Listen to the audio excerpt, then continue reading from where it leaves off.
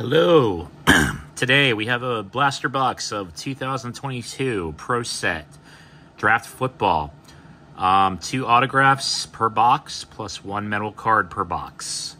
Uh, I picked this up at my local Walmart. It was actually on sale um, for 13 bucks. So, figured why not give it a shot here.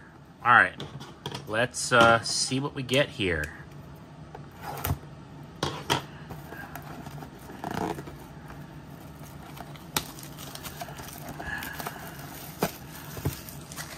Never opened one of these pro sets before, so I'm not exactly sure what to expect in here. Oh, okay.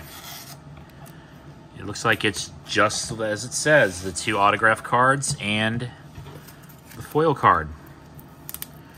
All right, let's see who we got. All right, we've got Isaiah Spiller. All right, we got Channing Tindall autograph. And we've got Jalen Tolbert autograph. All right. Let me know in the comments what you think. All right. Thank you so much for watching.